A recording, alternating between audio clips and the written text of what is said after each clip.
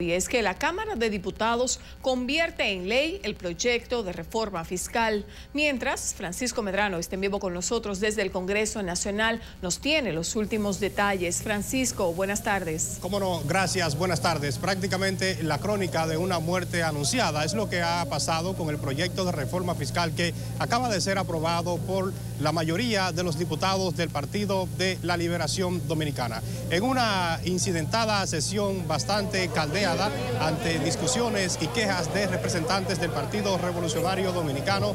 Los PLDistas apoyaron votaron en su mayoría por este proyecto y fue eh, ratificado tal y como fue aprobado en primera lectura. No se le hicieron modificaciones, en cambio fueron rechazadas dos propuestas de modificaciones que se presentó en el día de hoy en el Salón de Sesiones.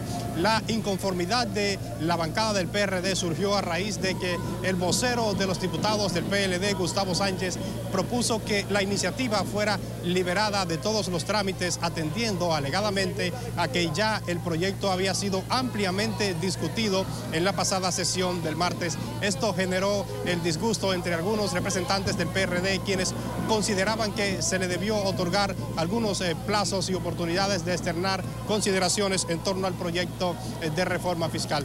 Fue votado por 103 diputados de, que votaron a favor, 66 eh, votaron en contra y 5 se abstuvieron de votar.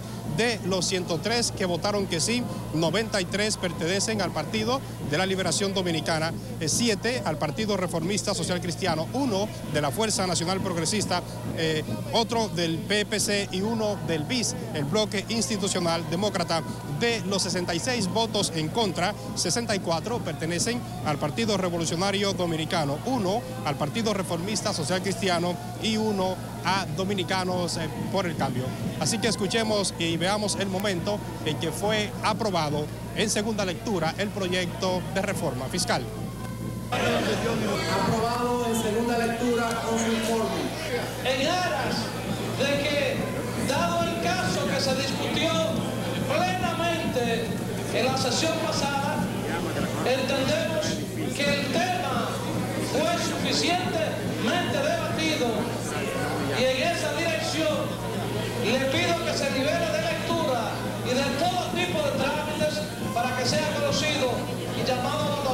en este preciso momento. Hoy, de la misma manera irresponsable como se manejó el déficit fiscal, de esa misma manera irresponsable y vagabunda por parte de este Congreso Nacional que estamos llamados a controlar y a fiscalizar por la Constitución. Es decir, que estamos hablando de que se violaron los artículos de la Constitución que, que, habla de la normativa, del control interno, del control externo, tanto de la Procuraduría General de la República, la Cámara de Cuentas, ninguna de las dos ha generado un informe a la Cámara de Diputados que explique el déficit, que es el causal de la reforma tributaria. Esta aprobación, el Congreso ratifica la intención del Poder Ejecutivo de recaudar 46 mil millones de pesos y poder estructurar el proyecto de presupuesto del año 2013. Quedan, eh, además, incluido el impuesto a las ventas.